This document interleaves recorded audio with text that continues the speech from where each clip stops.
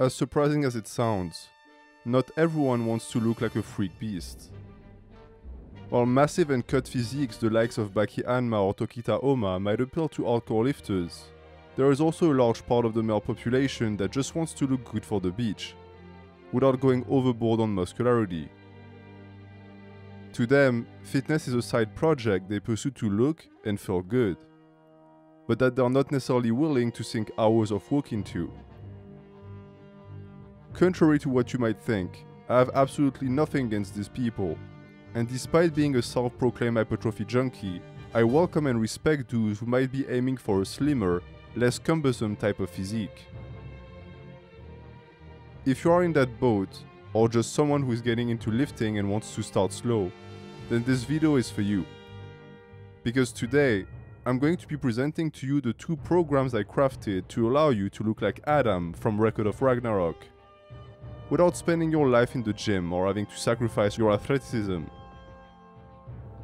The reason why I settled on this character in particular instead of one of the many muscle monsters from the show is because of how relatable his shape is.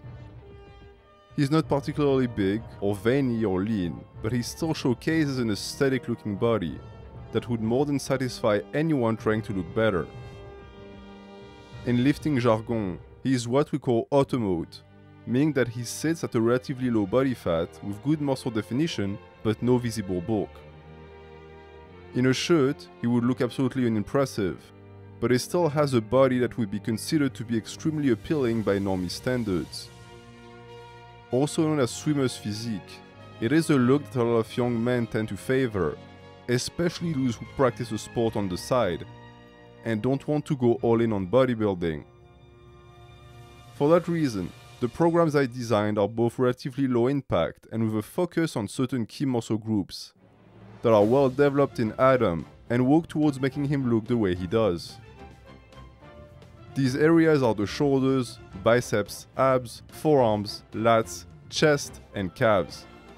Which means, as you've already guessed, that the regimens will mostly focus on upper body development and leave the legs and posterior chain mostly underdeveloped.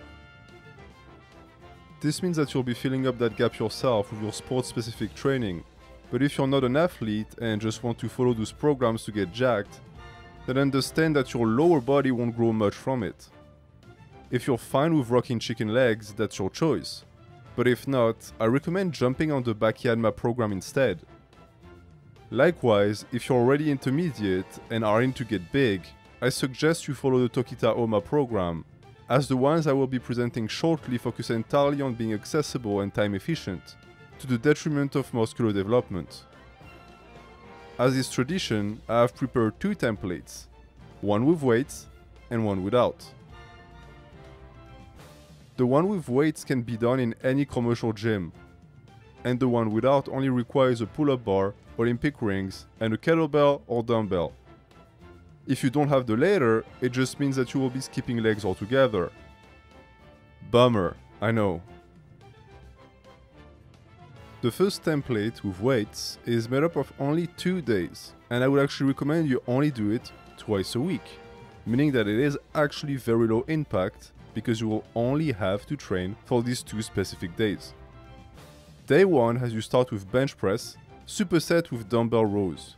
This is going to develop your chest and your upper back. You will be doing 3 sets of each, and after that, you'll start another new set with overhead press that you will be supersetting with chin-ups for as many reps as possible if it's with body weight only, or as a 3x5 if it's weighted. That also will be supersetted with knee raises for as many reps as possible. And for these exercises, you'll also be doing 3 sets.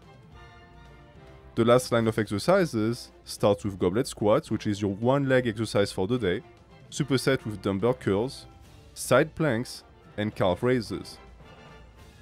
This day with warm-ups included shouldn't take you more than an hour and a half. And the second day is just as long, meaning that at the end of the week, this only takes you 3 hours to complete, so it's very doable.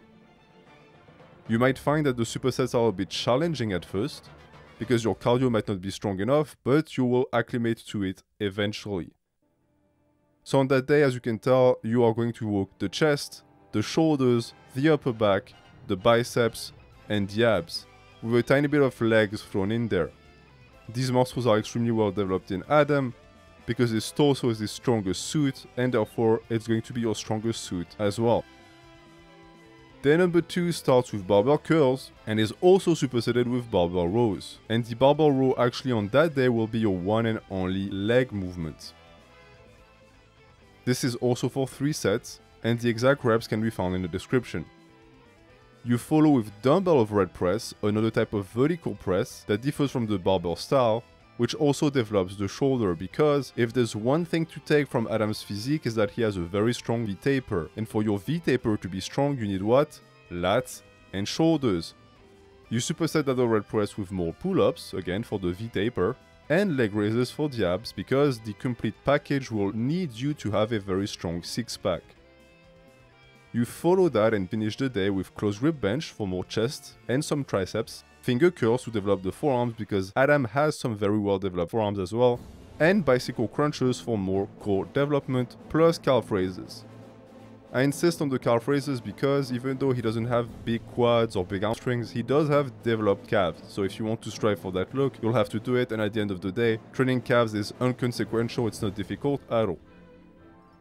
And that is it for template number one with weights. Again, as you can tell, it's extremely time efficient, it's very low impact, very easy to put in your week and schedule, and you can do it again only twice a week. If you want, you could actually do it four times a week. The template is perfectly suitable for that, but to strive for the Adam physique, the Automode physique, it is not necessary at all. I would say that for people who are a bit more on the heavy side and who want to lose fat, this is the best template for that. The second template is not as suitable at all.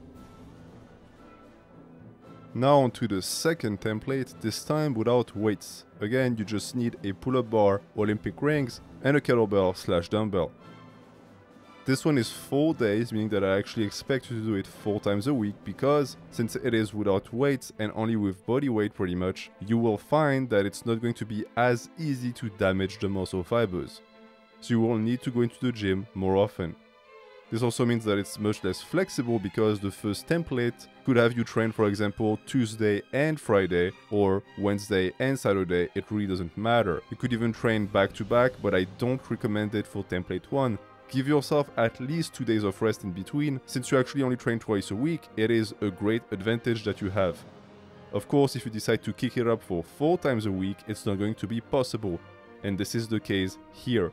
So for example, you could potentially do day 1 and day 2 back to back, then 2 days rest and then repeat, or just 1 day's rest. It's up to you entirely, you have to decide what works best for you you could ask me, for example, why the template 1 is the exact same format, and the answer is very simple. Calisthenics is redoable. It's much easier to redo the same exercises without getting injured, you adapt faster, it's less fatiguing, and therefore I can have you repeat the same two days. I don't need to actually lean into variations to create two different days. It's perfectly fine as is. For day 1, you start with chin-ups, as many reps as possible with body weight and you superset that with knee raises. The next set starts with reverse supinated ring rows that you're going to also do as many reps as possible with for 3 sets, or weighted if you wish, superset with goblet squats. The goblet squats, if you don't have access to a kettlebell or dumbbell, can just be slashed altogether. Keep in mind also that if you for some reason decide to train your legs more intensely, I just recommend you jump on the Baki Hanma program, but if you are just dead set on training on this Adam program, you could just replace these by normal squats. For example, replacing the Romanian deadlifts that come later with just straight up deadlifts, and that also works for template number 1. You will finish that day 1 with false grip dead hangs for the forearms and the grip, side planks for the abs and calf raises. So overall this day 1 has you train the biceps, the upper back, the abs, the forearms and a tiny bit of the legs.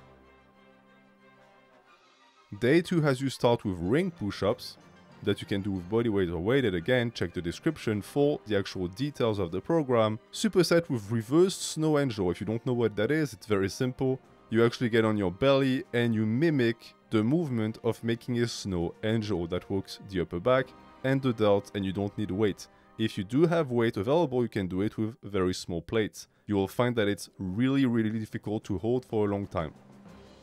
You follow that up with ring dips, superset with Romanian deadlifts. These two are also for 3 sets, so you're already 6 sets in right now at this point of the program. Keep in mind for the beginners who are going to ask, yes, you finish the first set before you start the second set. So you'll be doing your 3 sets of push-ups plus the reverse snow angel before you start the dips.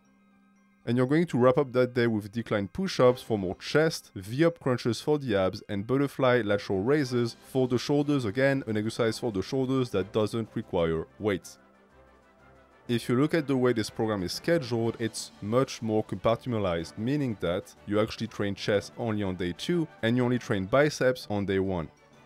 The reason why I have you separate the muscle groups like this is because here you'll have to do it 4 times a week, whereas template 1 has you train only 2 times a week. So it was normal for me to have you train all of the muscle groups of the program on template 1 and have you split them on template 2 because if I have you train biceps every single day four days a week, most likely you will not make any progress or get injured. This is the logic behind that. This template, the bodyweight one, is more suitable for light individuals because it's going to be easier for you to get into calisthenics while it might be frustrating for heavier people. It's also great if you're someone who's lean, you're going to be able to just build mass off of that. If you're patient, you will very quickly get to an Adam physique, an automode physique that is going to be very aesthetic. You can, if you want, do it 6 days a week as it's low impact, but you might in that case have to modify the exercise selection as to not get injured. Both templates give you a lot of free time and you can therefore play a sport on the side, especially since the legs are not too recruited and they stay fresh. That's also the point for anyone who's an athlete and who wants to start bodybuilding on the side without damaging their performance, that is going to be perfect for you.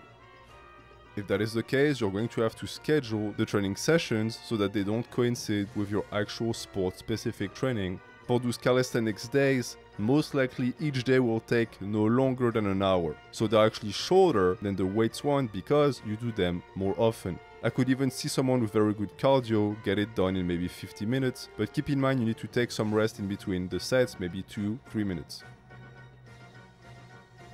And that's going to be it for this Adam training program. If you're only interested in staying slim and muscular, you can run iterations of these two programs pretty much forever and still make good progress while never exceeding auto mode. The good thing too is that this type of physique is extremely easy to maintain, and you won't have to stress out too much about losing mass if you take a day off or two. Especially considering that moving the sessions around is made extremely easy by how infrequent and short they are. If you use this to get yourself started and would want to continue getting bigger however, you'll need to graduate to a different program, as this mix of frequency and volume will not allow for much muscular progression past a certain level.